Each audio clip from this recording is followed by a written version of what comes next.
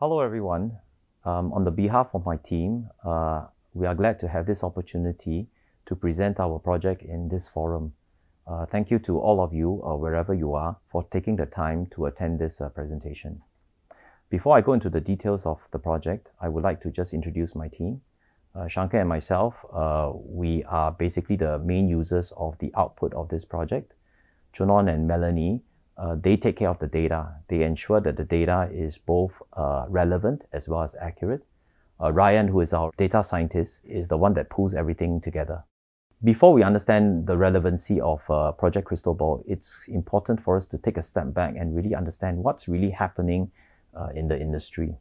Over here in UOB Asset Management, we believe that the wealth management space in Asia Pacific is an important growth area. The reason why is because it has the fastest growing working population as well as a booming middle class.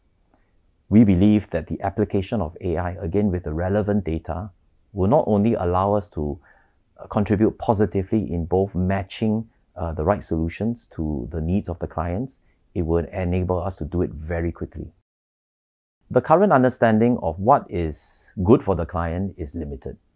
As conventional wisdom would suggest, best performing funds are the best funds for our clients. Um, we don't believe that this is true. And the reason why we say this is because there are different markets in Asia Pacific. As with the different markets, there are differing wealth cycles and then resulting in differing investment demands. What we hope to achieve with Project Crystal Ball is really to predict the retail fund flows in Singapore by determining and understanding its key client needs using both quantitative and qualitative data. And we do have the intention of trying to roll this out across uh, our regional uh, distribution network.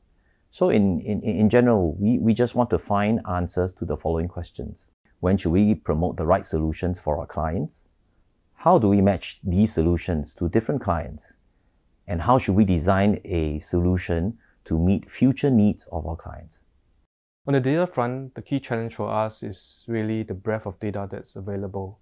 So essentially, how do we go about collecting the data, discover the usefulness of each data sets, and essentially harnessing the predictive ability of the whole data set as a whole. We have identified hundreds of input factors and categorized them into five broad categories, ranging from your traditional risk and performance statistics, fund characteristics and market outlook, to economic indicators uh, and unstructured data sources such as market sentiments and news. So what we're trying to do here really is to create a predictive model that we can use to develop key solutions for our clients in Singapore. So ultimately, what we want to do is to really address the key business objective that we have set out in the beginning and hopefully be able to create a more predictive ability for us to do our business. Our solution takes data from our five broad categories and trains a model that best describes this data. This then becomes the model that is set in motion to read in the current day parameters through a user-friendly interface. The AI model deciphers a huge chunk of market indicators and forecasts the output, ranked and convenient for business users to digest and drive decisions for clients' needs. So from a vast pool of information, the AI predictive model is able to process and present information that allows us to quickly achieve the ability to make better informed decisions to meet the investment needs of clients anytime.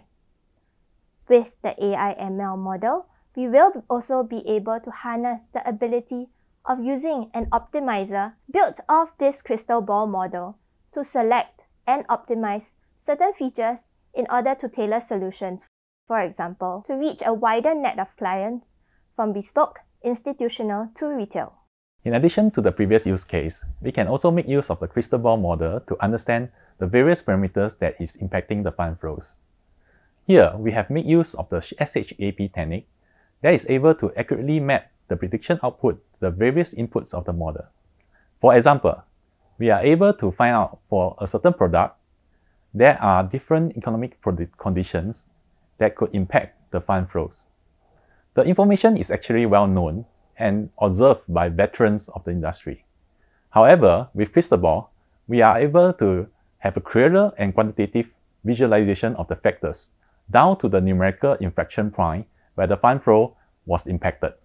UOB Asset Management, with the help of various business units, has successfully developed the solution, which is Crystal Ball, and also the data pipeline, transforming the raw data inputs into the predictive and analytics output as described in the use cases to meet the business objectives. The business users will be able to view the outputs and the visualizations from dashboards and work towards to build better solutions and products for our customers. UOB Asset Management is a wholly owned subsidiary of UOB.